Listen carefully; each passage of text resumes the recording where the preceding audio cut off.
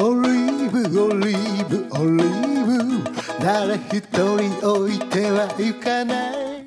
今日も始まりました。黒川敦彦のオリーブの木チャンネ今日は今週のニュースまとめのコーナーでございます、えーニュースまとめのコーナーは黒川敦彦とル富山真希でお送りいたします。よろしくお願いします、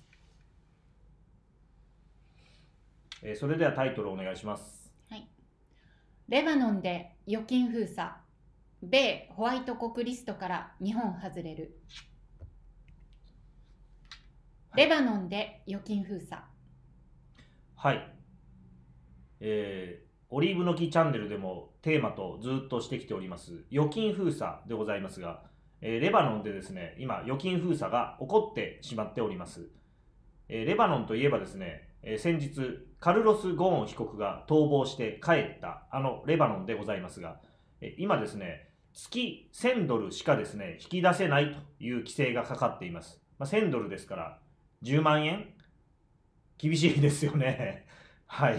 で実質今無政府状態になってしまっております。3ヶ月デモが継続しているのですが1月18日19日のデモが最近で言うと最大だったそうなんですがえそのデモでですね少なくても530名負傷していますと。えちょっと死亡者に関しては調べたところ、えパッと出てきてないのですが、えーまあ、死亡者も出ているように、えー報道されています、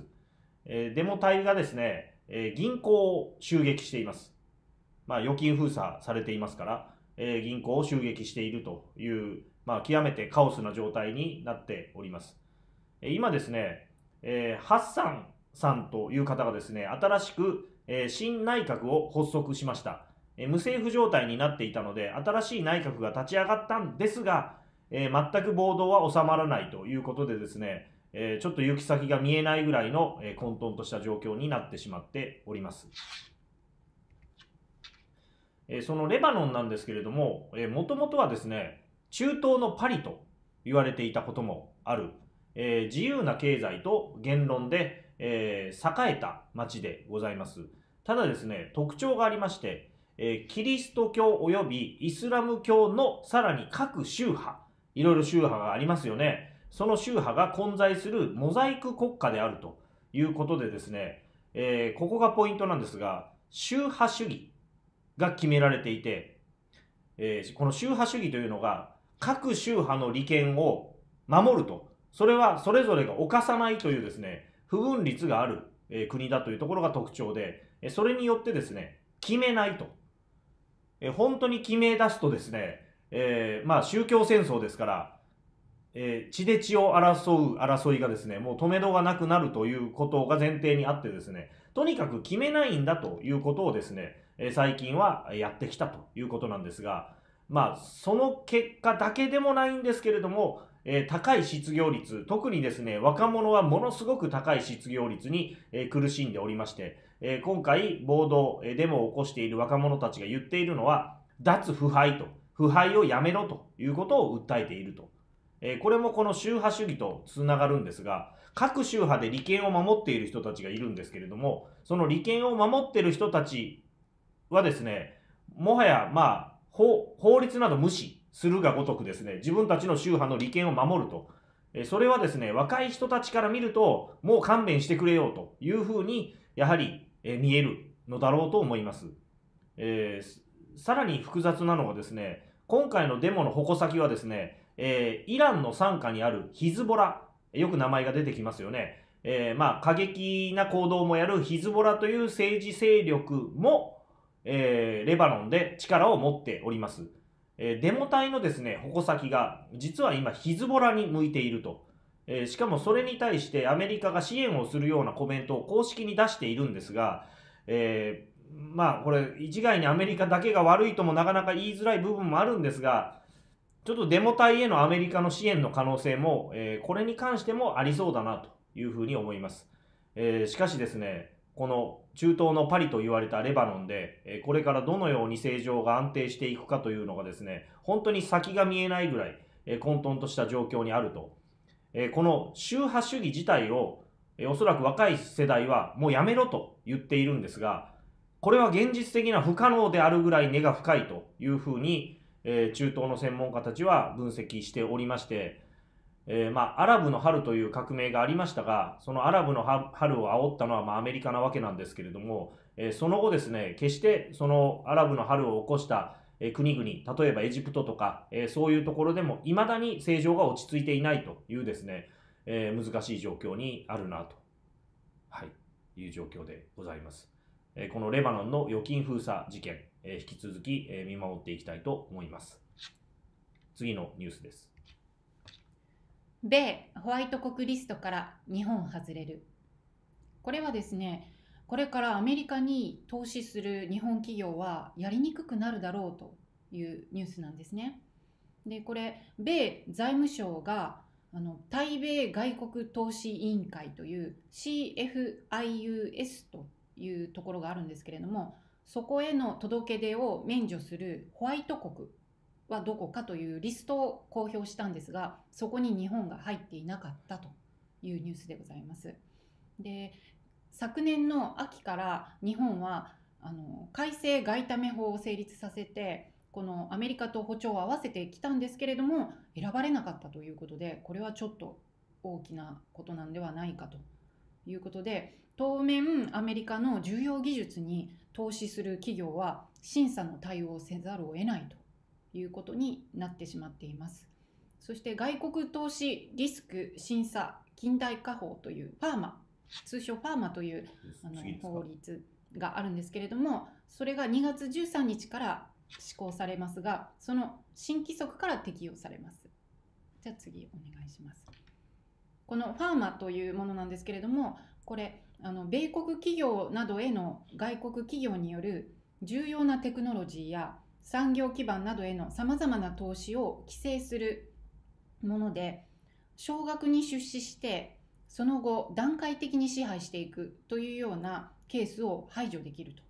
でこれまで問題なかったようなマイナーな出資などにも規制をかけようということでどんどん規制が厳しくなっているということでこのファーマー自体は去年成立して2月の13日から施行ということでこの施行に合わせてホワイト国のリストが公表されたんですけどそこに日本が入ってなかったと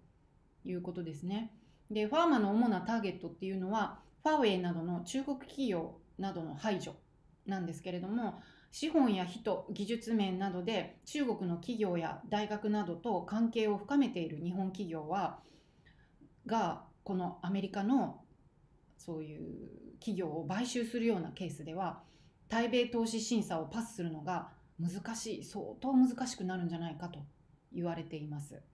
で審査する機関っていうのはあの CFIUS と先ほども出てきましたけれども対米外国投資委員会といいましてこれはアメリカの企業や事業への外国への直接投資の国家安全保障への影響を検討する、うん、省庁間委員会アメリカの省庁間委員会でして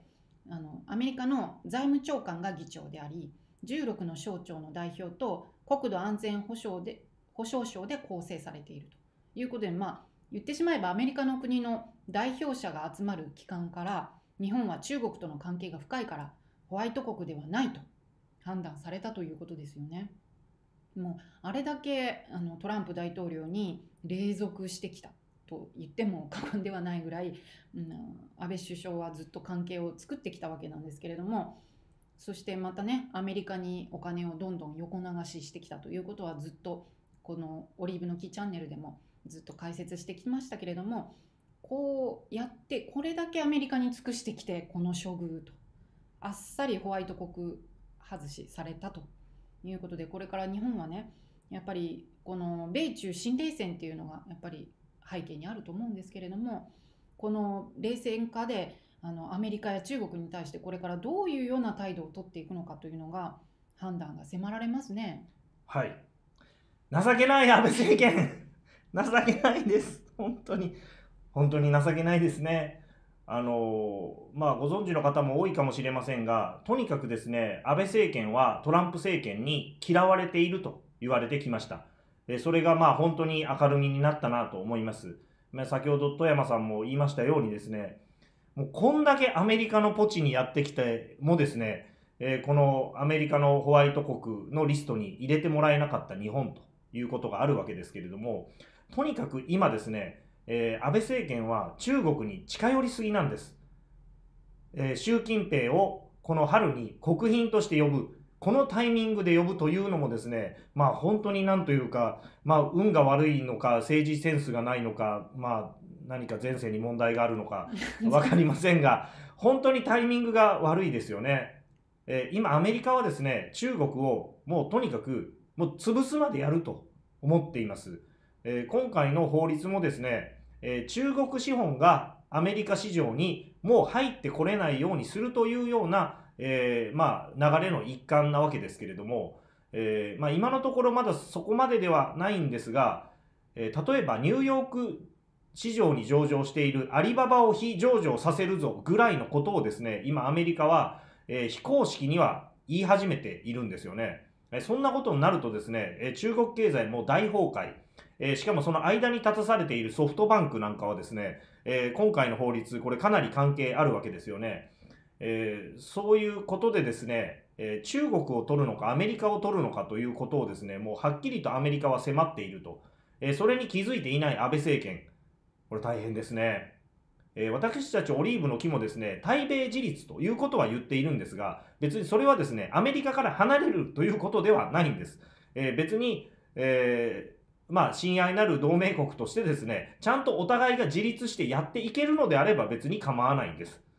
そのあたりをですね、日本国民、しっかりと考えていかないと、今の安倍政権のようにですね、えーまあ、アメリカにもいい顔をする、その裏で中国にいい顔をする、なんてことをやっていたら、またこのようなことがですね、えー第2、第3、同じようなことが起こっていって、本当にですね、国際社会でも、えー経済社会でも、えー立場が辛くなるというふうに思いますので、えー注意が必要かと思います。はい。新型肺炎中国共産党の発表の10倍の感染被害という説はい、えーこれも恐ろしい話が出ています。えーあながちこれデマでもなさそうかなと思います。えー今、まあ、え新型肺炎、私どもも一昨日かな、え動画で出させていただきましたが、え世界中で話題になっていますが、その新型肺炎のですね、えまあ、発生している率、患者がですね、え中国共産党の発表の10倍あるんじゃないかという説がですね、今、ネット上で流布され始めました。えー一つ確かなことはですね、えーまあ、震源地である武漢市を視察した香港大学の、えー、菅教授、えーこの方はですね、ウイルス学の専門の方で SARS の研究もずっとされていた、えー権威の人なんですが、SARS の時の10倍の感染規模になるということを、え武漢を見てはっきりと思った、驚愕をしているということを公式に、えコメントしています。えー、SARS がちなみに8000人の患者だったので、その10倍というと8万人ですから、それはですね、相当やばいです。えーさらにですね、ネット上の動画でですね、えー10万人を超える、えー発症がもう起こっているというような噂があったり、まあ、これデマかもしれません。えまたですね、えこれは事実なんですが、武漢の病院に患者が押し寄せている映像みたいな動画がですね、たくさん今ネット上に流布されて、えーその患者の中から痙攣して倒れる人が出ていたりとかですね、ショッキングな映像が今いろいろなツイッターや様々な SNS で流布されています。あのごごろご覧になった方も多いのではないでしょうか。えー今ですね、日本には春節ということでですね、えーこの1月の24から30日、えー中国は休みの人が多いので、え日本にですね、中国人観光客の方がものすごくたくさん押し寄せています。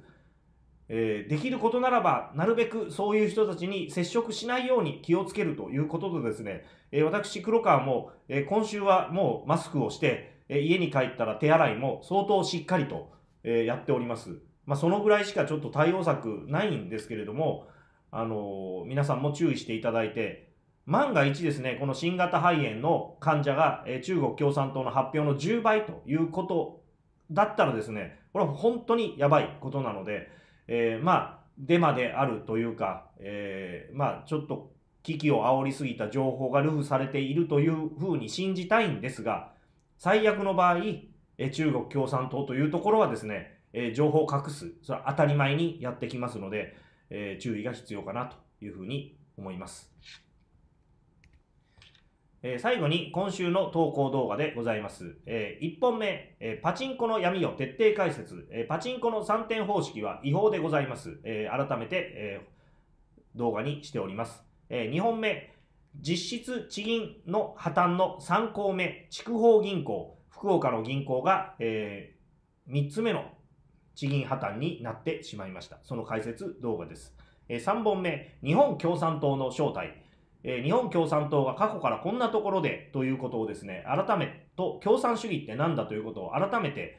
えー発表した動画でございますが、相当な反響がありまして、えー共産党関係者の皆様から、お前そこまで言うなよとお叱りを受けている衝撃の話題作でございます。あの、でも嘘はついておりませんので、ぜひご覧になってみてください。え4本目、え資本主義。え直球の資本主義ってなんだっていうのをですね、え動画にしております。え4本、あ、5本目、新型肺炎が春節で日本に大量上陸。先ほどご説明した話です。え基本的な話なので、また見てない方はぜひご覧ください。え6本目、今更聞けないインフレ、デフレ。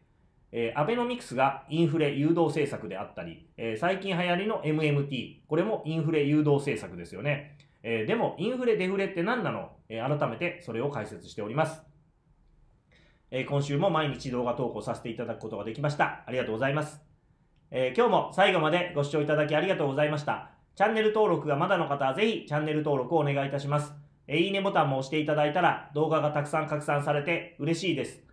今、オリーブの木では動画制作スタッフの募集、学生インターンの募集、選挙に立候補してくれる候補者の公募を行っています。え動画の最後に画像で案内を入れています。コメント欄の一番上にも詳細に記載しておりますので、ご確認の上、ぜひ応募ください。よろしくお願いいたします。今日もありがとうございました。なんだってできるのさ。ピープルパワーで、黒川敦彦と、富山真希でした。ありがとうございました。